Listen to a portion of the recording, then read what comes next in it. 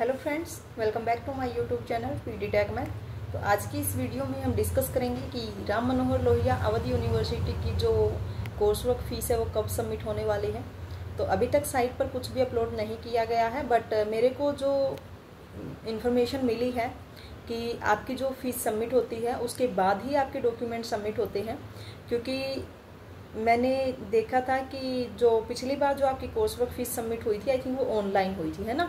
और fees submit करने के पंद्रह दिन के अंदर अंदर हमें अपने डॉक्यूमेंट सबमिट करने होते हैं। और अगर मैं बात करूँ अपने डॉक्यूमेंट्स की कि क्या क्या डॉक्यूमेंट यूज़ होंगे तो देखिए अपने जो नॉर्मल से जो tenth twelfth graduation post graduation and अपना जो एप्लीकेशन फॉर्म हो गया, अपना जो रिज़ल्ट आया है, ठीक है? उसकी फ़ोटो कॉपी भी आई थिंक चाहिएगी। और अगर आपके पास प्रपोज़ल है देन वो प्रपोज़ल भी आप यूज़ कर लीजिए वहाँ पे। NET GATE J R F आपकी जो भी अगर कोई अदर एग्ज़ाम आपका क्वालिफाई है, वो या वो भी आपको सबमिट करना होगा। इनके अलावा अगर मैं बात करूँ एनओसी ठीक है, अगर कोई जॉब करता है तो एनओसी एंड एफिडेविट सबको सबमिट करना है एफिडेविट बनवा लीजिएगा, ठीक है? और जब आप एफिडेविट बनवाओ, अगर कोई गवर्नमेंट जॉब करता है दैन उसमें मेंशन करवा देना है, ठीक है? जब आप एफिडेविट वहाँ पे बनवाओगे, और एफिडेविट तो सबको ही बनवाना है, ये मत सोचना कि अगर कोई गवर्नमेंट जॉब करता, उसको ही बनवाना है, या फिर नॉन गवर्नमेंट मतलब सबको बनवाना है एफिडेविट तो एक टाइप से वो गैप ईयर का हो जाता है, ठीक है? अगर कोई और डॉक्यूमेंट होंगे, इसके अलावा तो वो मेंशन कर दिए जाएँगे बट अभी तक कुछ भी इन्फॉर्मेशन नहीं आई है। ये तो मैंने सिर्फ़ वो बताए हैं आपको जो कि इम्पोर्टेंट डॉक्यूमेंट जो कि लेके ही जाने हैं। अगर इनके अलावा कोई और भी डॉक्यूमेंट होंगे तो वो हमें तभी पता चलेगा जब कोई नोटिस निकल के आएगा, जब हमें फ़ीस सबमिट करनी होगी। बस इतना है कि जो आपको फ़ीस सबमिट करनी है, शायद वो ऑनलाइन ही फ़ीस सबमिट करनी हो, ठीक है? नोटिस आ जाएगा और उसके बाद पंद्रह दिन के अंदर अंदर हमें अपने डॉक्यूमेंट सबमिट करने होते हैं। और अपने डॉक्यूमेंट कहाँ पर सबमिट करने हैं?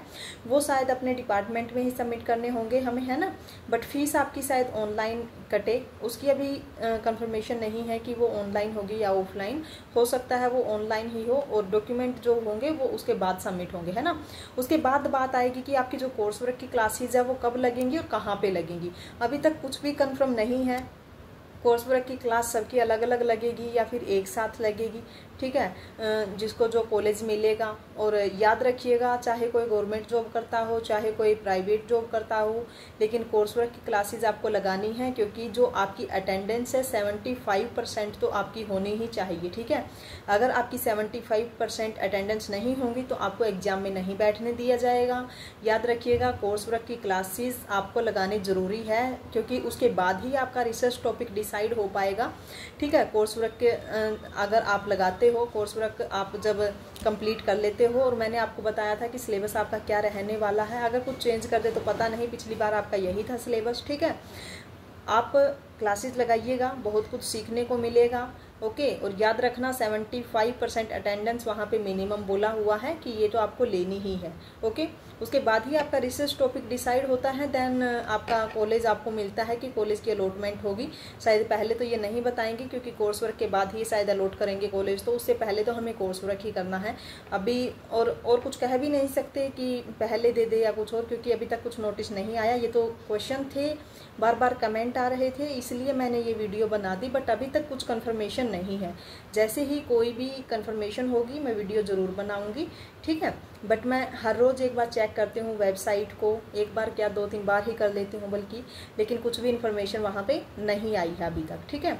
सबसे पहले तो नोटिस आपका फ़ीस सबमिट के लिए ही आएगा कि कोर्स वर्क की फ़ीस आपको सबमिट करनी है। एंड अगर मैं बात करूँ कोर्स वर्क की फ़ीस की तो जो फुल टाइम वाले हैं, उनको ट्वेंटी फाइव थाउज़ेंड फ़ी वहाँ पर देनी है। एंड अगर कोई पार्ट टाइम है तो फिफ्टी थाउज़ेंड ओके ये आपकी कोर्स वर्क फ़ीस रहने वाली है, बिल्कुल डबल कर रखी है ना?